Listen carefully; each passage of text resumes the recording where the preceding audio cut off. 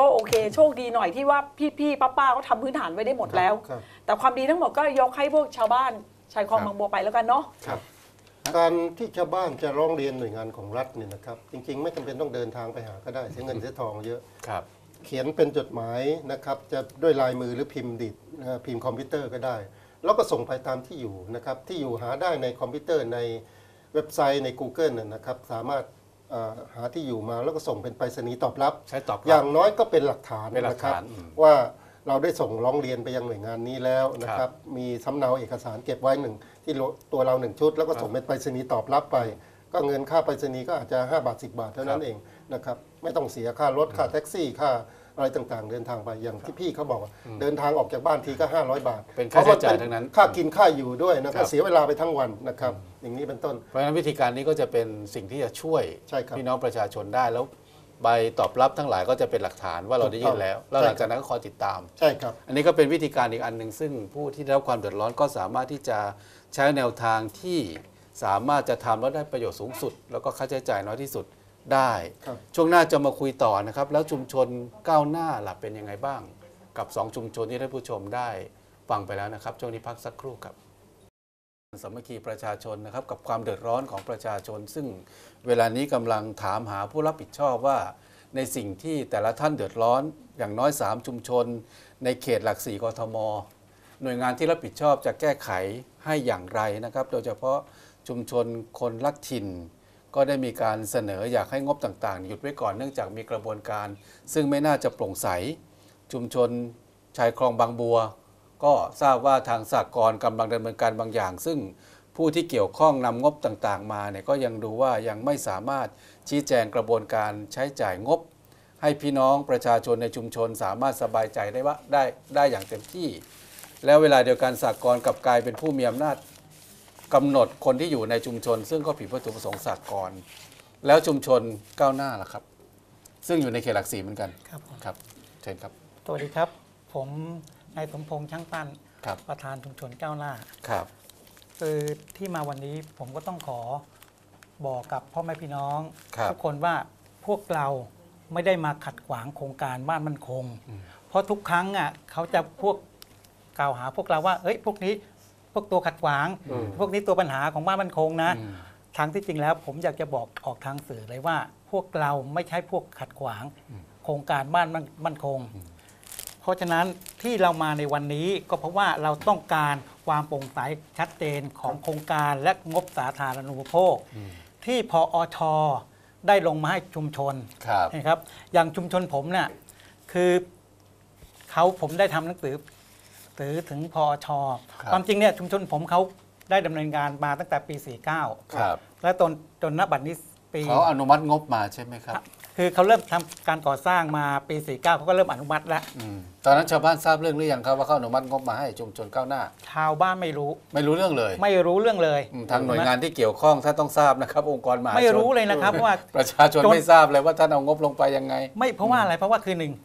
คณะคณะทำงาน ครับ คือคณะกรรมการบ้านมั่นคง ครับ คือเขาพยายามปิดข้อมูล ปิดถูปิดตาชาวบ้านอืมไม่ยอมบอกข่าวสารมาเลยว่าเฮ้ยงบลงมาแล้วนะ เขาไม่เคยพูดอืมแต่พอจนเรารู้ว่า เฮ้ย มันชักพอละสิบปีละอ่าเกือบจะสิบปีละโอ้โห10ปีเกือบจะแล้วนะสิบปีตั้งแต่ปีกว่าสี่จะทเก้าราบข้อมูลเกือบแล้วครันะบนี่ในปีห้าแปดครับ ใช่ไหม เพราะว่าตอนนั้นผมไม่ได้เป็นประธานชุมชน ครับเขาพยายามปิดบังตลอดว่าคุณไม่มีสิทธินะ อืม คุณไม่ได้เป็นสมาชิก ครับ ใช่ไหมเขาไม่ได้เป็นสมาชิก แต่นี่ผมเป็นพอเข้ามาเป็นประธานชุมชน 2 ปีใช่ไหมผมก็ได้ไว้วางใจจากพ่อแม่พี่น้องชาวชุมชน ถามถามนิดนึงว่าในชุมชนก้าวหน้าเนี่ยมีทั้งหมดกี่ครัวเรือนครับ ถ้าตามทะเบียนราษฎร์จริง ๆ แล้ว 226 ประชากรประมาณครัวเรือนกี่ แล้วแล้วก็เขาทำเป็น ครอบครัวขยาย อืมครับเพื่อจะของงบสาธารณอ๋อนี่เป็น 296อืมนะฮะอืมก็ผมผมเคยถามว่าอะครอบครัวขยาย296 มาเป็นไงคือเออ เขาบอกก็ครอบครัวขยายจากคนที่มีบ้านเยอะอืมให้สมาชิกเยอะจาก 8 คนขึ้นไปอืมนะก็ได้อีกครอบครัวหนึ่งอ๋อใช่ไหมนี่คือครอบครัวขยายของเขาหมายความว่าบ้านหลังเดียวมีสองทะเบียนบ้าน อ๋อแล้วก็มาเป็นเรื่องเอ๊ะบ้ารู้น สึกว่าตรงนี้มันมันใช่ ใช่วิธีการที่ถูกต้องไหมเนี่ยผู้ที่เกี่ยวข้องต้อง ต้องและเอาอีไปกอย่าพิงจารหนึ่งณา บ้านไม่มีเลขที่ครับ อันนี้เราก็ยังพอทนได้นะ ครับ เพราะว่าเขาเคยปลูกอยู่แล้วชาวบ้านรู้เห็น แต่บ้านเช่าอะ ครับที่เขามาจากไหนไม่รู้ครับใช่ไหมพวกเราต้องแบ่งที่ให้เขาอยู่เหรอครับ ใช่ไหมเขาเช่ามา ครับเพราะฉะนั้นบ้านเช่าอืม เพราะฉะนั้นพวกนี้เขาฉลาดนะอืมเขาฉลาดว่าเออเขาไม่สอบสอบถามคนที่อยู่ดั้งเดิมหรอก ครับ ว่าจะสนใจหรือไม่สนใจเพราะแต่กลัวเขาไปรู้กลัวจะรู้เขากลัวจะรู้ความจริงอืมเพราะฉะนั้นเขาถึงได้เอาพวกสมาชิกที่บ้านเช่าก็ดีอืม นะแล้วก็พวกพ้องน้องพี่ของตัวเอง อืม มาจับกลุ่มกันอืม ใช่ไหมเขาไม่สนใจ ต้องถามท่านท่านนายกก่อนว่าตรงนี้จริง ๆ ถ้าวิธีการลักษณะแบบนี้เนี่ยถ้าโดยข้อกฎหมายเนี่ยทำได้ไหมคมัรันบมันก็ผิดอยู่แล้วนะครับเพราะว่าโดยโดยปกติในในทะเบียนราษฎร์ของครับของเขต มันก็จะระบุไว้ชัดเจนอยู่แล้วว่า มีผู้อยู่ในชุมบ้านชหลันงเอ่อบ้านหลังดังกล่าว มีทะเบียนบ้านอยู่ที่ไหนอะไรอย่างไรครับดังนั้นการที่จะเอ่อหาเอ่อหมายถึงว่าหาเป็นเสียงครอบครัวขยาย ใช่ครับ ซึ่งจริง ๆ แล้วพอฟังมันก็เหมือนกับเป็นวิธีการ ไปขยายเพื่อจะของงบเพิ่ม ใช่ครับอืมแล้วงบที่ได้มาจะทำยังไงก็ยังไม่รู้ ครับ อันนี้แสดงว่ามีการเจตนาเตรียมการแต่ต้นใช่ไหมครับ ถ้าใช่ ถ้ามองว่าโครงการนี้มีการทุจริต คือมันมันมองได้หลายแง่หลายมุมนะการทำอย่างนั้นอาจจะเป็นการในเชิงการบริหารจัดการของหน่วยงานภาครัฐก็เป็นไปได้นะครับ ในในเชิงการเอ่อจัดสรรงบประมาณก็เป็นไปได้ ครับ หรือแม้แต่ในเชิงการควบคุมในเรื่องการหาเสียงเลือกตั้ง ซึ่งกรุงเทพมหานครเลือกตั้ง เกือบจะทุกระดับนะฮะครับสขก็เลือกตั้งสกก็เลือกตั้งผู้ว่าก็เลือกตั้งสสก็เลือกตั้งสวก็เลือกตั้งเลืนะอกตั้งครับงั้นคนที่อยู่ในชุมชนก็ถือมักเป็นจะฐานคะแนนเสียงที่ฐาดีนคะแนนเสียงก็รับเละอะฮะถ้าถ้าหมายถึงถ้าหลายไอเดียทะเบียนบ้านถ้าไอเดียดีๆ ผู้นำชุมชนไอเดียดีๆเนี่ยนะถ้าคิดถึงประโยชน์ส่วนรวมนะครับ เพราะทุกครั้งที่นักการเมืองมาหาเสียงก็มักจะ อ่าติดมีอะไรเอ่อเอ่อติดไม้ติดมือปลายหรืนอวมหรือมา หรือจะอยากได้อะไรก็จะให้ชุมชนหมดอะนะครับ ครับ เรียกร้องให้เอ่อขอเอ่อขออะไรได้หมดนะฮะในช่วงฤดูเสียงหาเสียงเลือกตั้งเนี่ยนะฮะครับ แต่พอเลือกตั้งไปแล้วอย่าไปขอ ครับนั้นการขยายเป็นโครงการขยายต่างๆ ก็ต้องไปดูระเบียบใช่ไหมครับใช่ว่า ครับ โดยระเบียบสามารถทำลักษณะนี้ได้หรือไม่ครับ อ่าครับต่อครับก็ตอนนี้ ก็ตกลงแล้วมี 200 ขยาย 226ครัวเรือนขยายมาเป็น 290 296ครัวเรือนก็คืข้ออหนึ่เพิ่งมขึ้นมาครับ โอ้ก็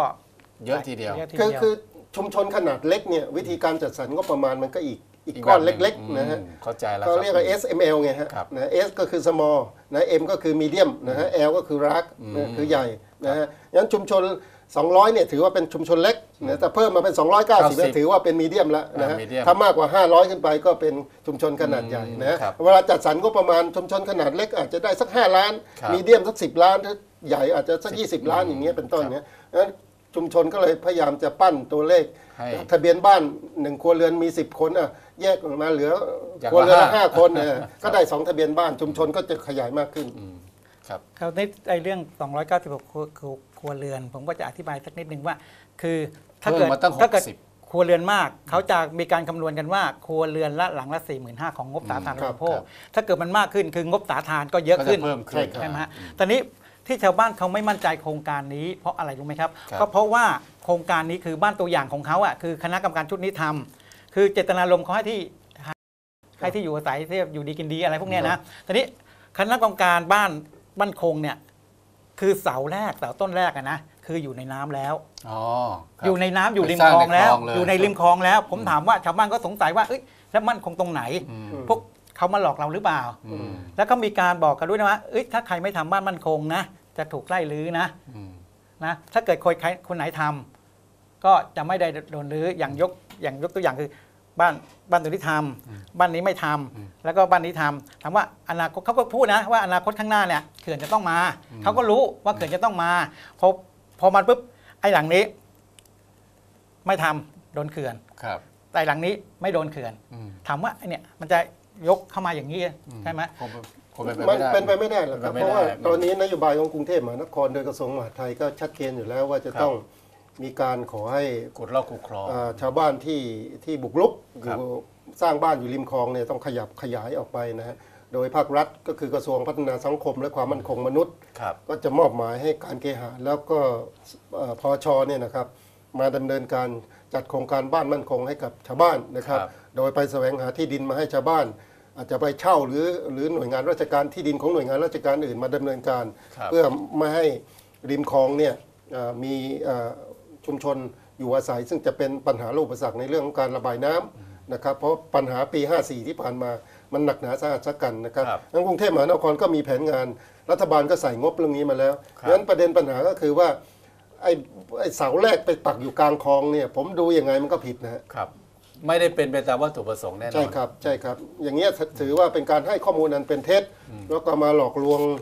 สมาชิกในชุมชนนะครับ เรื่องนี้ผมคิดว่าต้องตรวจสอบกันอย่างเข้มงวดฮะแสดงว่าชุมชนเข้าใจถูกแล้วว่าอ่าไม่เช่นนั้นทำอย่างเดี๋ยวไม่มั่นคงเดี๋ยวตกกระไดพลอยโจรไป แล้วก็จะทำให้ชาวบ้านที่อุตส่าห์เก็บหอมรอมริบนำเงินเข้าสู่ระบบสหกรณ์เข้ากลุ่มออมทรัพย์ แล้วก็มันเอาไปใช้โดยไม่เกิดประโยชน์นั้นในที่สุดก็จะถูกไล่ลื้อมาภายหลังเนี่ยมันจะยิ่งเจ็บช้ำน้ำใจและสูญเสียครับสูญเสียทั้งเงินของชาวบ้านและสูญเสียเงินงบประมาณแผ่นดิน ซึ่งเอาไปเอ่อเอ่อผสมอยู่ในนั้นด้วยครับ นั้นพอถึงตรงนี้ทำยังไงต่อครับ คืออย่างนี้ผมก็จะเล่าต่อเนื่องกันว่า คือเขาจะเป็นการการเบิกงวดอ่าของไอ้พอชกับคณะกรรมการชุดนี้ที่เพื่อที่จะมาสร้างบ้านอ่านะคือสร้างบ้านหลังแรกเนี่ยก็ไม่มั่นคงแล้วไม่มั่นคงแต่ว่างวดงานก็จะต้องดำเนินการต่อไป ครับตอนนี้ผมก็ต้องถามว่าในเมื่อมันจะมีการเบิกเป็นงวด คืองวดแรกเนี่ยสองล้านหนึ่งคือบ้านคณะกรรมการทั้งนั้นเลยที่ทำนะบ้านคือสองล้านหนึ่งเนี่ยกรรมการก่อนเลยผมถามว่าพอชก็รู้ดีอยู่แล้วอืมว่า ผิดวัตถุประสงค์อืมใช่ไหมไม่ได้ทำตามขั้นตอนของโครงการที่ได้กำหนองค์กดรมหาชนนะใช่ไหมเนี่ยครับแต่คุณมามงวดที่สองคุณอนุมัติมาแล้ว8ล้านกว่าอีกแปดล้านใช่ไหมฮะอืมผมถามว่าพออชทำไมไม่ตรวจสอบก่อน ให้คงไอ้งวดแรกเนี่ยให้มันเรียบร้อยไปก่อนครับให้ไปสร้างความเชื่อมั่นให้กับชาวบ้านก่อนอืมใช่ไหมฮะครับ แล้วมันออกมาปล่อยไม่อีกแปพดอไปล้านอีกกว่างวดบาทที่สองแปดล้านกว่าบาทรวมทั้งหมดเป็น 10ล้าน5แสนอืมอืม คือเอกสารตัวนี้ผมไม่ได้เมคเอกมาเพราะว่ามันเป็นของพอชอ่าเป็นของราชการที่ได้ที่ผมได้ทำร้องขอไปแล้วขอเอกสารตัวนี้มาสำกออกแล้วก็มีการประชุมกันที่เขตอืมแล้วก็ให้ตัวนี้มาใช่ไหมฮะแล้วก็ตอนนี้แต่นี้ก็เลยชัดเจนขึ้นว่าโครงการที่ทำมาเนี่ยพอชตรวจสอบถูกต้องแค่ไหนยังไง ครับแล้วการมาเปิดโครงการที่สองเนี่ยมันได้ประเมินหรือยังว่าโครงการแรกสำเร็จหรือไม่สำเร็จครับ อืม คือว่าสองล้านหนึ่งคุณยังไม่ได้เรียบร้อยอะไรเลย อืมยังมีปัญหาทะเลาะกันอยู่เลยเนี่ยครับ เพราะว่า งวดที่สองแปดล้านแล้วคุณก็ยังให้อีกครับใช่ไหมผมถามว่าพอชคุณอ่าเป็นหน่วยงานที่รับผิดชอบคุณต้องลงมาดู แต่คุณอืมเพิกเฉยครับแต่นี้ไอ้เรื่องนี้คือเรื่องที่อยู่อาศัยที่อยู่อาศัยครับแต่นี้ก็ต้องมาคุยถึงเรื่องงบสาธารอ่าครับสาธารณทีู่ปคุณโภคคำนวณที่คุณคำนวณกันมาเนี่ยครัวเรือนละสี่หมื่นห้าทั้งหมด 296ครัวเรือน ทั้งหมดก็ตกจะประมาณเอาตัวเลขกลมๆนะครับว่า 13 ล้านครับใช่ไหมพอ 13 ล้านนี้ชุมชนก้าวหน้าได้อนุมัติมาเป็นงวดงวดครับๆใช่ไหมครับ เป็นงวดงวดๆคือ เราต้องอธิบายให้ชัดเจนว่าคืองวด1 2 3นี่มันจะเป็นงวด1 2 3นี่จากพอชลงมาคณะกรรมการอืม ครับ ชุมชนโดยครับตรงเลยครับเนี่ยตามที่เขาเขามีได้นั่นออกมาตามผลสอบทานเนี่ยอย่างหนึ่งสองสามเนี่ยคือหนึ่งอืมงบสาธารลงมาสามสามล้านนะสามล้านห้าแสนอ่า ไม่ใช่ไม่ใช่ขอโทษครับ คือสามแสนห้าหมื่นสามพันเก้าร้อยอืมงวดที่สองแปดแสนหกหกพัน อืม งวดที่สาม แปดแสนเจ็ดพันสองร้อยแปดร้อยครับครับ เจ็ดพันสองสองร้อยแปดเจ็ดเจ็ดพันแปดร้อยครับไอ้สามงวดนี่รวมมาแล้วเขามีการตรวจทานนะครับครับ เขามีการตรวจทานมาว่าขอผมขออ่านนิดนึงนะครับ อ่าครับ คือว่าไม่มีเอกสารในการตรวจงวดงานทั้งหมด ในงวดที่หนึ่งจำนวนเงินที่ผมได้อ้างไปถึงงวดที่สามนะครับ ครับคือโดยทีมงานช่างครับ นะทีมงานช่างได้มีการลงตรวจระบบสาธารณูปโภคจากคำบอกเล่าจากคณะกรรม การสหกรณ์เพราะครับตัวนี้ก็ต้องขึ้นกับอยู่กับสหกรณ์ด้วยครับครับคือคุณขออนุญาตเอ่ยชื่อแล้วเพราะผมไม่กลัวอยู่แล้วตามรายงานเพราะว่าตามรายงานผมมีหลักฐานยืนยันมีอ่าครับการเซ็นเอกสารตามรายงานหรือความว่าไม่ต้องคืเอ่ยชื่อก็ได้ เออไม่ต้องเอ่ยชื่อ คือคณะกรรมการแล้วกันอ่านะคณะกรรมการ ซึ่งเขามีการตรวจสอบและมีการใช้ซับซ้อนกันอืมครับ ซับซ้อนกันผมถามว่าพออชไม่เรียกคืนเลยเหรออืมคุณก็คนเขียนรายงานมาอย่างเงี้ย อ่าคุณก็รู้แล้วว่าทราบทราบข้อเท็จจริงแล้วอ่า ครับ คุณก็รู้แล้วเนี่ยไม่มีซับซ้อนนั่นกันซับซ้อนกัน อืม แต่คุณก็ยังเพิกเฉย อืม ทำไมต้องให้เรามาดิ้นรนร้องเรียนกันด้วยทำไมคุณไม่ดำเนินการเลยในเมื่ออำนาจหน้าที่อยู่ที่คุณแล้วผมครับผมว่าผู้บริหารพอชนี่นั่นน่าจะก้นร้อนแล้วล่ะเอาถ้าฟังเรื่องเอาราวขาแหย่เข้าไปในตารางข้างหนึ่งแล้วครับ เพราะเรื่องนี้เป็นรายงานจากพอชเองใช่ครับแล้วก็ทราบว่ามีการใช้งบซ้ำซ้อนครับผมซึ่งโดยหน้าที่เมื่อทราบก็ต้องปฏิบัติใช่ไหมครับครับใช่ยังไงก็ต้องมาคุยกันมาตรวจสอบกันหน่อยนะครับตอนนี้พอมางวดที่สองอืมง วดงวดที่สี่อนุญาตครับงวดที่สี่คือการเบิกจ่ายเงินเนี่ยเขาจะแบ่งเป็นงวด พอพองวดหนึ่งสองสามนี่เขาผ่านจากพอชแล้วลงมาชุมชนครับแต่งวดที่สี่นี่คือเขาจะผ่านจากพอชมาลงเครือข่ายครับเครือข่ายเมืองคือเมืองเคหรืลัอกสี่ข่ายอ๋อครับเขาจะมีเครือข่ายเขาอยู่กับเมืองหลักสี่เพราะเครือข่ายตรงนี้เขาจะมีเขาจะมาลง ในเครือข่ายเซนี่ฟหมายถึงเครือข่ายที่อยู่ในการรับรองของสำนักงานเขตนะฮะไม่ใช่คือของหรือพอว่าชพอชของพอชเขาเกี่ยวจะข้อแต่งงกับสำนักงานเขตนคเขารับจะแต่งตั้งกันยังไงนี่ผมไม่รู้อืมอืม ใช่ไหมผมไม่ทราบเพราะถ้าเกิดผมพูดไปเดี๋ยวปก็ระชาชนก็เลยไม่ทราบมีปัญหาคบอะไรพวกเนี้ยตอนนี้ก็จากสอบถามจากพี่เขาที่อยู่เครือข่ายเขาบอกว่า ทางพอชเอาเงินมาพัก